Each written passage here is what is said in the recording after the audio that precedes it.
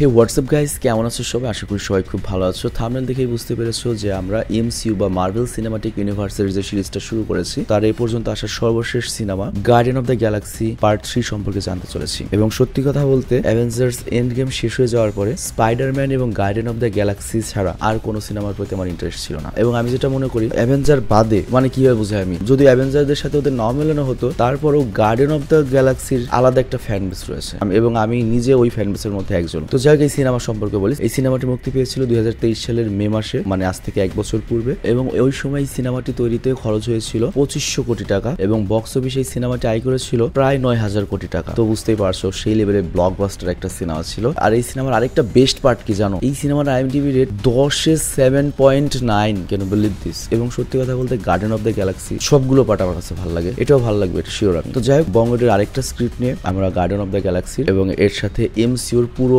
সিরিজটাই শেষ করে দিচ্ছি। তবে ভিডিও স্টার্ট করার পূর্বে ছোট্ট একটা কমার্শিয়াল বিজ্ঞাপন থাকবে। তুমি যেটা করতে পারো, বিজ্ঞাপনটা স্কিপ করে মূল ভিডিওতে যেতে পারো, কিংবা তোমার হাতে সময় থাকলে তুমি বিজ্ঞাপন দেখতেও পারো। তবে বিজ্ঞাপন স্কিপ করতে চাইলে তার জন্য আমরা ডিসক্রিপশনে ডুরাশন দিয়ে রাখি। তো বিজ্ঞাপন কোনো থাকলে আমি প্লে করে দিচ্ছি, না থাকলে সরাসরি মূল ভিডিওতে চলে যাবে। গাইস আজকে আমরা মোস্টপ্লে অ্যাপ সম্পর্কে জানব। মোস্টপ্লে হচ্ছে বাংলাদেশের সবচেয়ে মজার এবং বিশ্বস্ত অনলাইন গেমিং অ্যাপ যার ব্র্যান্ড অ্যাম্বাসেডর হচ্ছে প্রখ্যাত অভিনেত্রী মধুমিতা সরকার। আর এখানে রেজিস্ট্রেশন করলেই পাবে একশো পঞ্চাশ টাকা ফ্রি বোনাস আর তাছাড়া সাইন আপ করে প্রোমো কোডে টিউব একশো পঞ্চাশ ব্যবহার করলেই পাবে, আর একশো পঞ্চাশ টাকা ফ্রি বোনাস আর মোস্ট প্লে দিচ্ছে প্রথম ডিপোজিটে একশো পার্সেন্ট বোনাস এবং প্রতি ডিপোজিটে আরও পাঁচ পার্সেন্ট অতিরিক্ত বোনাস আর সাথে থাকছে সাপ্তাহিক দশ পার্সেন্ট ক্যাশব্যাক বোনাস আর প্রতি রেফারে বারোশো টাকা আনলিমিটেড আর এই আইপিএল এ প্রেডিক্ট করে তুমি পাঁচ কোটি টাকা পর্যন্ত জিততে পারো। আর পিন কমেন্ট থেকে বোস্ট প্লে অ্যাপে বিনামূল্যে রেজিস্ট্রেশন করো আর অসংখ্য বোনাস যেত আর উপার্জন শুরু করো। তবে যে বিজ্ঞাপনে আমরা দেই না কেন তোমরা জেনে শুনে বুঝে তারপর সেখানে যাবে। তো গল্পের শুরুতে আমরা দেখতে পাই যে আমাদের যে গার্ডিয়ানরা ছিল গার্ডিয়ান অফ দ্য গ্যালাক্সির যে টিম তারা তাদের নতুন সদর দপ্তর নোহায়ের নামে একটা প্ল্যানেটে তৈরি করেছে। তো ওরা যখন ওদের সদর দপ্তর ঠিকঠাক করছিল আর কি, ওদের অফিস ঠিকঠাক করছিল। তখনই হঠাৎ করে ওদের উপর এসে আক্রমণ করে বসে অ্যাডাম ওয়ারলক।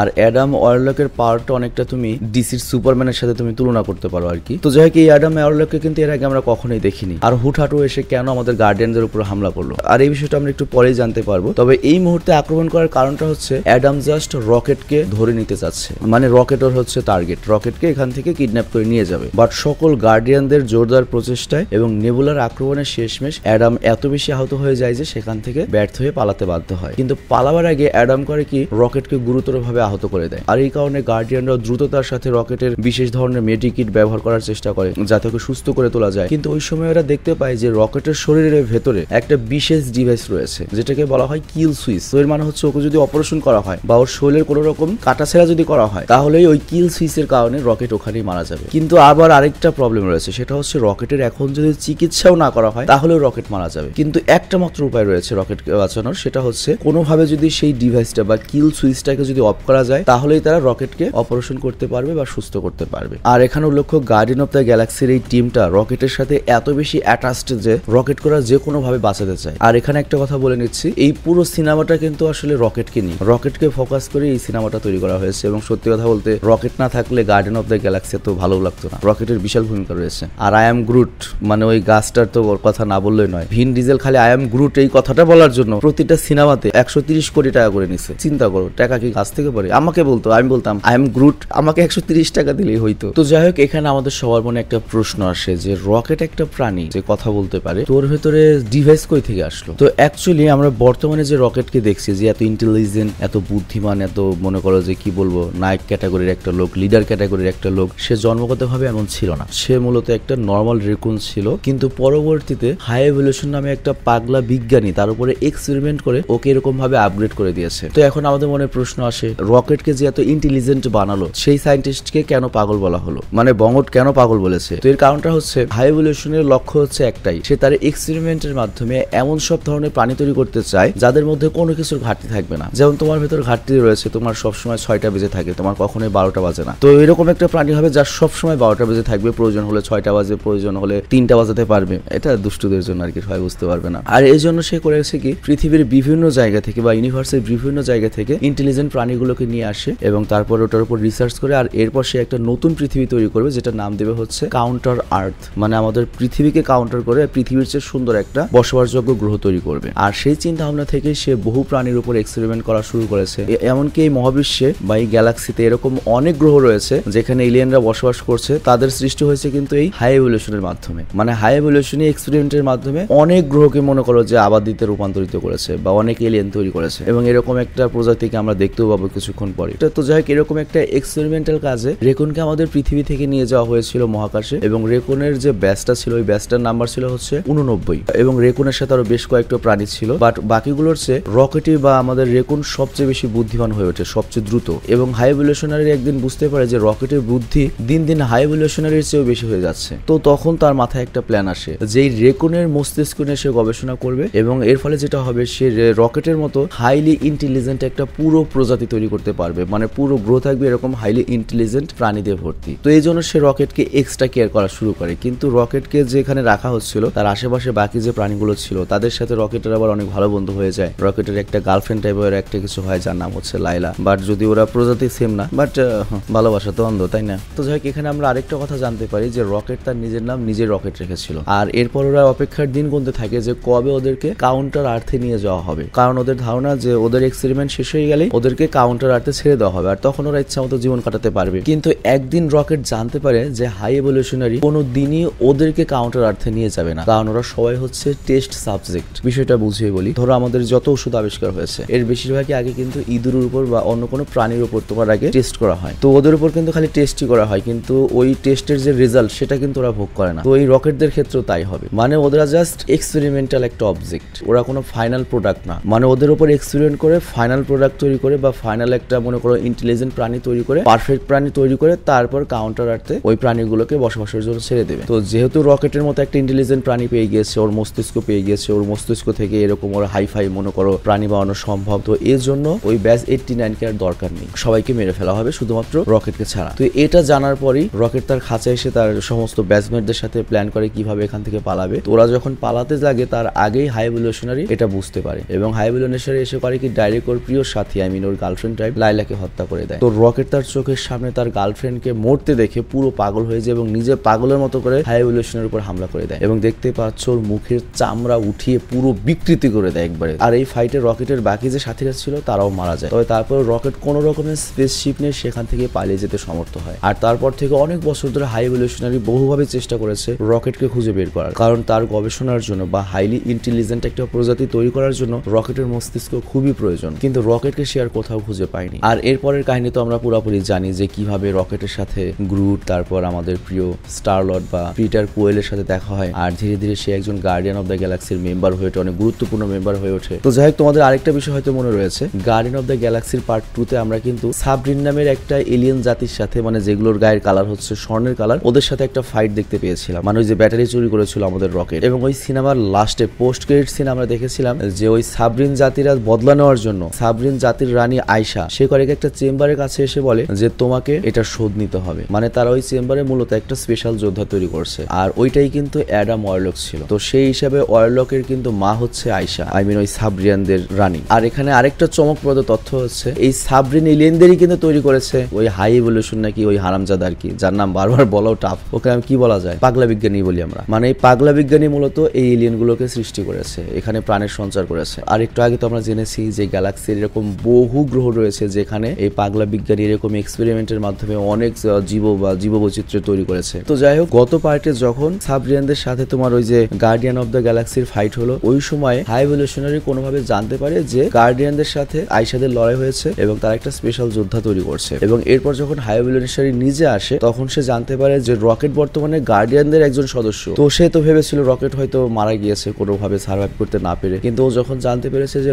রকেট এখনও বেঁচে রয়েছে এবং ওই গার্ডিয়ান অফ দ্য গ্যালাক্সি টিমের সাথে রয়েছে, তো এখন সে যে কোনো মূল্যে রকেটকে চায়। তো এই কারণে সে রানী আইসার কাছে গিয়ে অ্যাডাম ওয়ার লককে চেম্বার থেকে বের করে। আর এখানে লক্ষ্য, ও পুরোপুরি প্রস্তুত হওয়ার আগে ওকে বের করে নিয়ে আসা হয়। আর এখানে লক্ষ্য অ্যাডাম অনেক বেশি শক্তিশালী ছিল, যার জন্য অ্যাডাম সহজেই গার্ডিয়ানের কাছ থেকে রকেটকে ছিনিয়ে আনতে পারবে। কিন্তু হাই এভলিউশনের সামনে ওরা সবাই অসহায়। আর এটা প্রমাণ তো আমরা দেখতেই পাচ্ছি, রানীকে উল্টো মারছে এবং অ্যাডামকে হুমকি দেয়। যদি গার্ডেনের কাছ থেকে রকেটকে ছিনিয়ে আনতে ব্যর্থ হোস, তাহলে তোদের পুরো সাবরিন গোষ্ঠীকে আমি ল্যাটাফ্যাটা করে দেবো। তো এই কারণে মূলত অ্যাডাম রকেটকে আনতে গিয়েছিল এবং গার্ডিয়ানদের উপর হামলা করেছিল, যেটা আমরা সিনেমা শুরুতে দেখেছি। তো যাই হোক, এদিকে আমাদের দেখানো হয় গার্ডিয়ানরা ভাবছে কীভাবে এই রকেটের কিল সুইচটা বন্ধ করা যায়। কেই বা এই কিল সুইচটা লাগিয়েছে ওর ভেতরে? আর তখন নেবুলা তার রিসার্চ ক্ষমতা ব্যবহার করে জানায় যে ওকে ওর্সক্রোপ নামের একটা কোম্পানি প্রোগ্রাম করে তৈরি করেছে, বা ওই ডিভাইসটা ওর্সক্রোপ নামের একটা কোম্পানি তৈরি করেছে। আর ওই কোম্পানির প্রধান হচ্ছে হাই এভলিউশনারি, এবং তিনি প্ল্যান মাফিক রকেটের মধ্যে এই কিল সুইচটা সুইচটা লাগিয়েছেন যাতে কখনোই কেউ তার এই রিসার্চটা চুরি করতে না পারে মানে রকেটের উপর রিসার্চ না করতে পারে। মানে রকেটের উপর কোনো ধরনের রিসার্চ বা কাটাছেড়া করতে গেলে ওই কিল সুইচের মাধ্যমে রকেট মারা পড়বে। আর ঠিক এ কারণেই তারা রকেটের কোনো চিকিৎসা করতে পারছে না। বাট যেহেতু চিকিৎসা না করলে রকেট মারা যাবে, এ কারণে পিটার চাই যেহেতু একটা অপশন রয়েছে, সেটা হচ্ছে কিল সুইচটা অফ করা। তো কিল সুইচটা আমি অফ করব। তো নেবুলা তখন জানায় হ্যাঁ কিল সুইচ অফ করার একটা পদ্ধতি রয়েছে। আমরা যদি কোনোভাবে ওই সুইচের ওভার কোডটা উদ্ধার করতে পারি, তাহলে সম্ভব। আর ওটা ওই কোম্পানির সদর দপ্তরে আমরা পাবো। তো পিটার পাগলা সঙ্গে সঙ্গে রেডি হয়ে যায়। ওই সদর দপ্তরে কি ওভার কোডটা উদ্ধার করার জন্য যাতে সে রকেটকে বাঁচাতে পারে। আর যাওয়ার আগে পিটার তখন নোহায়ারের সদর দপ্তরের দায়িত্ব দেয় হচ্ছে গার্ডলিংকে এবং কুত্তা কসমোর হাতে। গার্ডলিংকে তো তোমরা অবশ্যই চিনতে পারছ। আমার খুব ফেভারিট একটা ক্যারেক্টার ছিল ইয়ান্ডু যে আর কি ওই তীর চালাতে পারতো। মারা গিয়েছে ওর আর কি ডান হাত। তো যাই হোক ওরা যখন যাচ্ছিল, তখন নেবুলা কিন্তু ওদের বারবার ওয়ার্নিং দিচ্ছিল। ওদের অফিস কিন্তু খুবই হাই সিকিউরিটি আমরা এত সহজে ওখান থেকে উদ্ধার করতে পারব না। তো এই কারণে আমাদের আরেকজনের হেল্প লাগবে। তো এর জন্য নেবুলা যায় হচ্ছে ওর বোন গামরার কাছে। তো আমরা কিন্তু অলরেডি জানি যে গামরা কিন্তু অলরেডি অ্যাভেঞ্জার এন্ড গেমে মারা গিয়েছে। থানোস নিজে মেরে দিয়েছে। বাট এখানে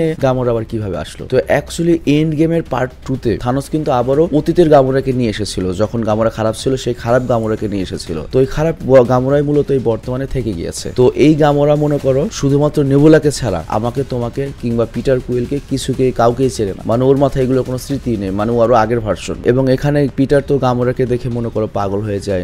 গার্লফ্রেন্ড ছিল, মারা গিয়েছে বারবার চেষ্টা করে মনে করানোর এইটা, ওইটা বাট গামরা তো ওই গামরাই না, পুরো পার্সনটাই আলাদা আগের পার্সন। মানে এটা খুব ফানি আর অনেক ব্যাপার ছিল। আর গার্ডেন অফ দ্য গ্যালাক্সি এমনিতেও এটা মজার এটার ভেতর মনে করো সিরিয়াসনেস রয়েছে ইমোশন রয়েছে। খালি হিন্দি সিনেমার মতো গানটা নাই, যেটা সবচেয়ে বিরক্তিকর। তো যাই হোক, এরপর আমরা দেখতে পাই গামোরা তার সঙ্গী সাথীদেরকে নিয়ে পিটারের স্টারশিপে এসে উপস্থিত হয়েছে, ওদেরকে সাহায্য করার জন্য এবং ওদেরকে ওই সদর দপ্তরে ভেতরে ঢুকতে সহায়তা করার জন্য। তো যাই হোক, ওরা ভেতরে ঢোকে এবং এখানে অনেক অনেক বিদিক ইচ্ছা বা অনেক কাহিনী রয়েছে বাট এত কিছু আমরা বললাম না, কারণ সিনেমা অবশ্যই সবাই দেখেছ। এখানে অনেক ফানি অনেক মজার দৃশ্য, অনেক সিরিয়াসনেস সবকিছুই আছে। তো যাই হোক কোনোভাবে ওরা ওই ওভার কোডটা উদ্ধার করতে সক্ষম হয়। কিন্তু এরপর যখন ওরা ফিরে এসে ওই ফাইলটা চেক করে, ওরা বুঝতে পারে এই ওভার কোডের মধ্যে রকেটের যে সুইচটা রয়েছে কিল সুইচটা রয়েছে, সেই কিল সুইচের কোডটাই নেই। তার মানে হচ্ছে হাই এভলিউশন আর আগেই বুঝে গিয়েছিল যে রকেটকে বাঁচাতে গার্ডিয়ানরা অবশ্যই ওভার কোড এখানে নিতে আসবে। তো এই কারণে সে আগে থেকে অ্যাসিস্ট্যান্ট থিলের মাধ্যমে সেটা সরিয়ে ফেলে এবং ওইটাকে বর্তমানে অ্যাসিস্ট্যান্ট থিলের কাছে রেখেছে ওই কোডটাকে আর এখানে হাই এভলিউশনারির আরেকটা প্ল্যান রয়েছে, সেটা হচ্ছে এখন গার্ডিয়ানদের হাতে আর কোনো অপশন থাকবে না, আমার সামনে না আসার। মানে আমার সামনে আসতেই হবে। আর ওই সুযোগে আমি রকেটকে ওদের কাছ থেকে ছিনিয়ে নেব। তো যাই হোক, এদিকে নেবুলারা রিসার্চ করে দেখতে পায় যে ওই ওভারকোডটি হাই এভলিউশনারির যে অ্যাসিস্ট্যান্ট থিল, ওর মাথার মধ্যে একটা চিপের মধ্যে লাগানো রয়েছে। আর সে এখন হাই এভলিউশনারির কাছে রয়েছে। তো এর ফলে পিটার রেডি হয়ে যায় হাই এভলিউশনারির কাছে যাওয়ার জন্য। আর হাই এভলিউশনারি বর্তমানে রয়েছে হচ্ছে কাউন্টার আর্থে কিন্তু গামরা খুব ভালো মতোই বুঝতে পারছিল যে এটা হাই এভলিউশনারির একটা প্ল্যান বা চাল, যে ওখানে গেলে ওরা ফাঁদে পড়বে। তো এই কারণে সে বারবার গার্ডিয়ানদের বোঝানোর চেষ্টা করে যে কাউন্টার আর্থে যাওয়া মনে হবে বোকামি, ফাঁদে পা দেওয়া। কিন্তু রকেটকে বাঁচাতে হবে এজন্য পিটার কুইল যে কোনো কিছু করতে রাজি ছিল। তো যেহেতু ওরা যাবে এ কারণে, গামরা বাধ্য হয়ে ওদের সাথে কাউন্টার আর্থে যাওয়ার জন্য রাজি হয়। আর অন্যদিকে আমরা দেখতে পাই সাবরিনদের রানী আয়েশা এবং অ্যাডাম ওদেরকে ট্র্যাক করতে করতে কাউন্টার আর্থের দিকে আসতে লাগে কারণ তো তোমরা জানোই হাই বুলেনেশ্বরী ওদেরকে হুমকি দিয়ে রেখেছে। রকেটকে যদি এনে না দিতে পারিস, তাহলে তোদের পুরো জ্ঞাতা গোষ্ঠীকে ধ্বংস করে ফেলব। তো এই কারণে আয়েশা আর অ্যাডাম চাচ্ছিল হাই বুলেনেশ্বরীর আগেই ওরা যাতে রকেটকে উদ্ধার করতে পারে এবং রকেটকে ওরা হাই বুলেনেশ্বরের হাতে দেবে, যাতে ওদের দামটাও থাকে এবং ওদের যাতে পুরোপুরি ধ্বংস না হয়ে যায়। আর এদিকে গার্ডিয়ানরা কাউন্টার আর্থে পৌঁছানোর পরে সেখানকার বাসিন্দাদের সাথে কথা বলার চেষ্টা করে এবং এখানে আমরা আজগুবি আজগুবি অনেক জিনিস দেখতে পাই। মানে বুঝতেই পারছ, বানাতে চেয়েছিল পারফেক্ট কিছু, কিন্তু হালার পর হালা করেছে কি, শরীর দিয়েছে, মানুষের মাথা দিয়েছে, শুয়োরের। হালাটাকে একটা ইন্টেলিজেন্ট প্রাণী বানাবে। মানে আমি হাই এভলিউশনারি কথা বলছি আর কি। তো যাই হোক, এরপর স্থানীয় এক বাসিন্দার সাহায্য নিয়ে পিটার কুইল নেবুলা অবশেষে উপস্থিত হয় এডি নামের একটা ল্যাবরেটরিতে আর এখানে লক্ষ্য, এই বিশাল ল্যাবরেটরিতে কিন্তু হাই এভলিউশনারি বর্তমানে অবস্থিত রয়েছে। তবে সেখানে যাওয়ার আগে ড্র্যাক্স এবং ম্যান্টিসকে ওরা বাইরে রেখে যায় রকেটকে প্রোটেক্ট করার জন্য। আর এদিকে পিটার যখন এই ল্যাবরেটরিতে প্রবেশ করতে যায়, তখন কিছু গার্ড পিটারকে এবং তোমার ওই আই এম গ্রুটকে ঢুকতে দিলেও নেগুলাকে ভেতরে ঢুকতে দেয় না। কারণ নেবুলা একটা রবটের মতো, ওর হাতি তো মনে করো যে হাতিয়ারের মতো। তো এই জন্য ওকে ভেতরে ঢুকতে দেওয়া হয় না। তো এই কারণে বাধ্য হয়ে পিটার আর আই এম গ্রুট গ্রুট, ওরা দুজন করে কি নেবুলাকে বাইরে রেখে ওই ল্যাবের ভেতরে প্রবেশ করে। আর এখানে গিয়ে পিটার প্রথমবারের মতো হাই ভ্যালুয়েশনের মুখোমুখি হয়। আর তাকে দেখেই প্রথমবার এই প্রশ্নটা করে যে, তুমি এইসব পাগলামি সাগলামি করছ, এগুলোর কারণ কি? তখন হাই ভ্যালুয়েশন পিটারকে জানায়, আমি এমন একটা প্ল্যানেট বানাতে চাচ্ছি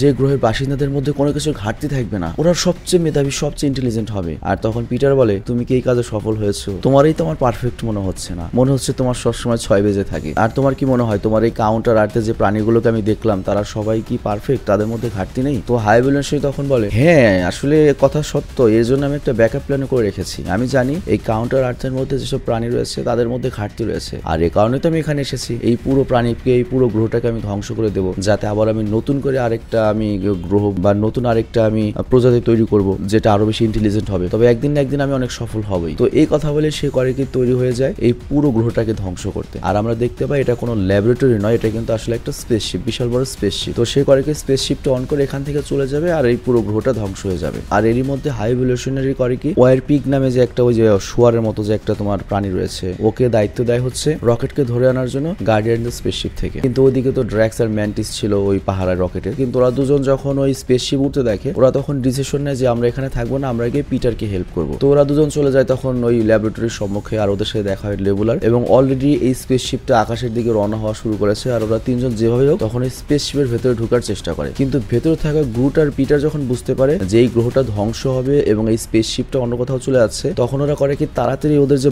বাকি যে বন্ধু বান্ধব রয়েছে, তাদেরকে বাঁচানোর জন্য স্পেসশিপ থেকে গ্রুটকে নিয়ে, আরও যে ওই হারামজাদা থ্রিল যেটার মাথায় আর কি তোমার ওই যে কিল সুইসের কোডটা রয়েছে, ওকে নিয়ে লাভ দিয়ে দেয়। তবে এটা দেখার পরও হাই বিলনেশ্বরে এটা নিয়ে খুব একটা বেশি ভাবে না। এর কারণটা হচ্ছে, যেহেতু এই পুরো গ্রহই ধ্বংস হয়ে যাবে, তো ওরা যেহেতু এখানে ঝাঁপ দিয়েছে, তার মানে হচ্ছে ওরাও মারা পড়বে, ওদের না টেনশনের কোনো কারণ নেই। আর এদিকে আমরা দেখি হাই বিলনেশ্বরের যে গার্ডটাকে পাঠিয়েছিল, ওই শুয়োর গার্ডটাকে পাঠিয়েছিল রকেটকে ধরে নিয়ে আসার জন্য, গামরা তাকে আটকানোর চেষ্টা করে বাট তখনই সেখানে এন্ট্রি নেয় অ্যাডাম অয়ারলক এবং সে ওই ওয়ার পিককে হত্যাই করে ফেলে। আর এখানে অ্যাডাম ওয়ারলক কিন্তু ওদের হেল্প করেনি, অ্যাডাম ওয়ারলক জাস্ট চায়, ও নিজে গিয়ে রকেটকে হাইভলিউশনের হাতে দেবে যাতে ওর জাতি বেঁচে যায়। কিন্তু এদিকে আবার গ্রহ ধ্বংস হতে শুরু করেছে। এই জন্য অ্যাডাম করে কি রকেটকে না নিয়ে ওর মা আয়সাকে বাঁচাতে আগে চলে যায়। কারণ ওর মা আয়সা বর্তমানে সে ওদের স্পেসশিপে রয়েছে। কিন্তু দুর্ভাগ্যবশত অল্পের জন্য ওর মা আয়সাকে বাঁচাতে ব্যর্থ হয়। আর তখন ও পাগল পাগল হয়ে যায়। আর এদিকে গামোরা করে কি পিটারের নির্দেশনা অনুযায়ী ওদের স্পেসশিপ নিয়ে কোনো রকমের পিটারকে উদ্ধার করার জন্য রওনা হয়। আর পিটার ততক্ষণে মনে করো চিলের কাছ থেকে ওর মাথার চিপটা খুলে দেয় এবং ওকে মরার জন্য এখানে ফেলে রাখে। আর তারপরে এই স্পেসশিপ নিয়ে গ্রহ থেকে বেরিয়ে পড়ে। তো যাই হোক, ওরা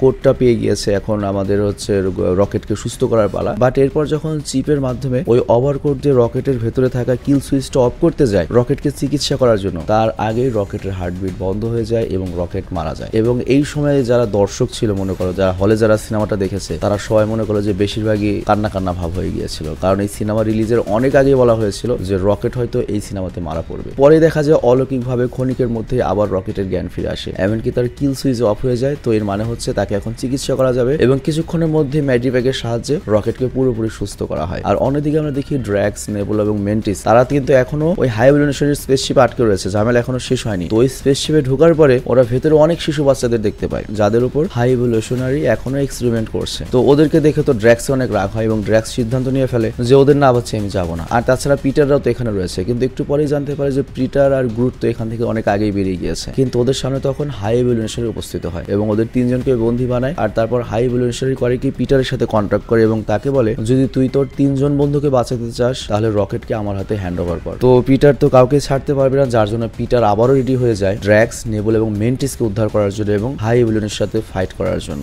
আর এর সাথে পিটার করে কি, গ্র্যাডলিনকে খবর দেয় যে নো হাইরে ওদের সবচেয়ে বড় যে শিপটা রয়েছে, সেটা নিয়ে যেন এখানে এসে উপস্থিত হয়। কারণ ওই শিপটা অনেক বড় এবং ওই শিপে অনেক বাচ্চা মানুষ আটকা রয়েছে, ওদেরকে বাঁচাতে হবে। কারণ ওরা ওই শিপটাই ধ্বংস করে ফেলবে হাইভলিউশনারি তো যাই হোক, পিটারের নির্দেশ পেয়ে গ্র্যাডলিন এখানে এসে উপস্থিত হয়। আর তারপর পিটার করে কি ওই স্পেসশিপ নিয়ে হাই এভিলুশনারি স্পেসশিপের ভেতরে ঢোকার চেষ্টা করে। কিন্তু তখন অ্যাডাম আবারও ওদের উপর আক্রমণ করে বসে। মানে এই হালার কোনো কাম কাজ নাই। এখন তুই কাকে বাঁচাবি? তোর মাই তো মরে গেছে তুই হুদে এখন ওদের সাথে কেমন ঝামেলা করবি? তুই এখন শত্রুতা কর হাই ভ্যালুরেশনের সাথে। না, তা পারবি না। কিন্তু আবারও করে কেউ গার্ডিয়ানদের কাছে মার খায়, কেলানি খেয়ে পরাজিত হয়ে যায়। নাকলজ্জা বলতে নাই আর কি ওর কিছু। তবে হারার পরে অ্যাডাম করে কি ওর যে সদস্যগুলো ছিল, তাদের সবাইকে লাগিয়ে দেয় গার্ডিয়ানের বিরুদ্ধে লড়াই করার জন্য। আর ওদিকে আবার হাই ভ্যালুরেশন করে কি? ড্রাগস, মেন্টিস এবং নেবুলাকে হত্যা করার জন্য তিনটা দানবীয় ক্রিয়েচার পাঠায়। কিন্তু মেন্টিসের পাওয়ার তো আমরা জানি। মেন্টিস তার ক্ষমতা ব্যবহার করে ওই তিনটা দানবকে নিমিশেই তার বন্ধু বানিয়ে ফেলে। আর মেন্টিসের কিন্তু আরেকটা চমৎকার ক্ষমতা রয়েছে যেটা আমার খুব দরকার ছিল। মেন্টিসকে আমি পাইলে ওকে আমি সত্যি কিডন্যাপ করে নিয়ে আসতাম। মেন্টিস যে কাউকে ঘুম পাড়িয়ে দিতে পারে। ভাই, ঘুমটা আমার খুব দরকার। মেন্টিস তোরে আমার লাগবে। আশা করছি আমার বইটা শুনব না আর কি। তো যাই হোক, ওখান থেকে ওরা বন্ধু অবস্থা থেকে মুক্ত হয়ে পুনরায় পিটারের সাথে যুক্ত হয় এবং ফাইনালি পুরো guardian of the galaxy team একসাথে হয় এবং এটা একটা আইকনিক সিন ছিল। এবং তারা এখন যাচ্ছে হচ্ছে হাই ইভলিউশনারিকে শেষ করতে। আর এই লড়াইয়ে আমরা দেখতে পাই গার্ডিয়ান এই পর্যন্ত হাই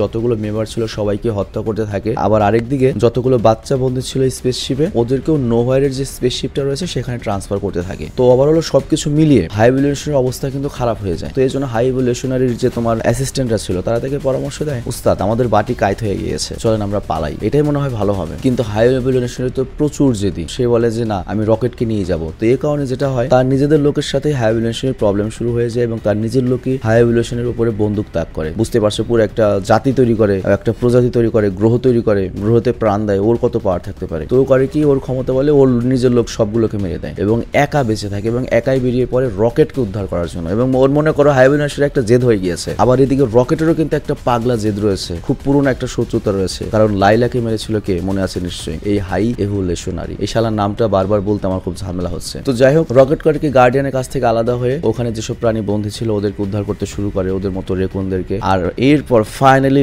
রকেট আর হাই এভলিউশনারি মুখোমুখি হয়। চিন্তা করো মানে এই সিনেমার মেন নায়ক মেইন ভিলেন এই সিনেমার মেন নায়ক কিন্তু আমাদের রকেটই সিরিয়াস লোকেরই কিন্তু পুরো কাহিনীটা। তো যাই হোক হাই এভলিউশনারি এখানে কিন্তু মারাত্মকভাবে রকেটের উপর আক্রমণ করা শুরু করে। বাট রকেটের বেশ কিছু ক্ষতি হওয়ার আগেই রকেটের যে সমস্ত বন্ধু বান্ধব ছিল, ওরা এখানে এসে উপস্থিত হয়। মানে ডায়লগটা অনেকটা এরকমের মতো। ফার্স্ট অ্যান্ড ফিরিয়াসে ভিন্ডেজেল ডায়লগ দেয় we are not friends we are family তো যাই হোক, এখানে garden of the galaxy family একজোট হয়ে লড়াই করতে শুরু করে এবং ফাইনালি হাই এভলিউশনারিকে পরাজিত করতে সক্ষম হয়। তো এরপর যখন ওকে সবাই মেরেই ফেলবে, রকেটের কথায় ওরা ওকে মারে না। ওর ওই নষ্ট স্পেসশিপে ফেলেই চলে আসে যে একাই মর তুই শালা। কারণ ওই স্পেসশিপটা তো অটোমেটিক্যালি ধ্বংস হচ্ছে। তো এরপর আবার হয় কি, সবাইকে বাঁচাতে গিয়ে ওই শয়তান এভলিউশনের স্পেসশিপ থেকে সবাই নোহার স্পেসশিপের পৌঁছালো পিটার শেষ পর্যন্ত সেখানে আটকা পড়ে যায়। এবং এই পিটার শালা বরাবরই স্লো গত পর্বেও কিন্তু আমরা দেখেছি এই পিটার হালাই কিন্তু লাস্ট পর্যন্ত ওর বাপের ওর জন্য ওই যে নিচে আটকা পড়ে গিয়েছিল। ওর জন্য যত ঝামেলা হয়েছিল। তো যাই হোক, এরপর কি হয়? নোহায়ারে আসার আগেই হাই এভলিউশনের স্পেসশিপটা পুরোপুরি ধ্বংস হয়ে যায়। তবে পিটার প্রাণপণ চেষ্টা চালাচ্ছিল বাঁচার জন্য, কিন্তু শেষমেশ আর পারে না এবং ব্যর্থ হয়ে মহাকাশে মারা যেতে শুরু করে। বাট তখন আমাদের সবাইকে অবাক করে দিয়ে অ্যাডাম অয়ারলক করে কি পিটারকে অবস্থা থেকে উদ্ধার করে ফিরিয়ে আনে? তো এখানে আমরা বুঝতে পারি যে অ্যাডাম নিজেও বুঝতে পেরেছে যে সে এতদিন খারাপ সাইডে ছিল। তো যাই হোক এখানে এই সিনেমার হ্যাপি এন্ডিং হয়। আর সবকিছু মিলে আমি কি বলব?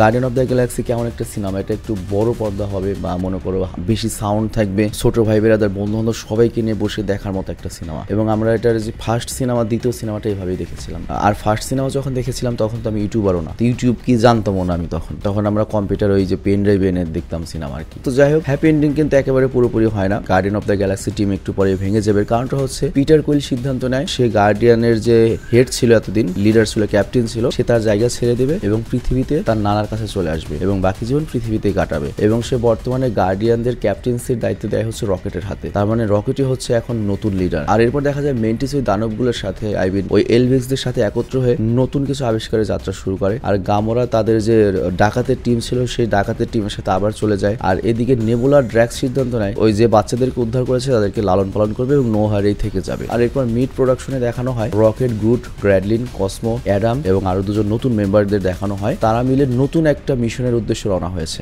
আর একবারে পোস্ট ক্রেডিট প্রোডাকশনে দেখানো হয়, পিটার পৃথিবীতে ফিরে এসে তার নানার সাথে কফি খাচ্ছে এবং গল্প করছে। আর এখানে সিনেমা শেষ হয়ে যায়, বাট লাস্টে আমাদের একটা কার্ড দেখানো হয় পোস্ট কার্ড যেখানে লেখা রয়েছে যে স্টারলট আবার ফিরে আসবে। মানে পিটার আবার ফিরে আসবে। পিটার গার্ডিয়ান অফ দ্য গ্যালাক্সির নেক্সট সিনেমায় অবশ্যই ফিরে আসবে। তো এখানে সিনেমাটি শেষ হয়ে যায়।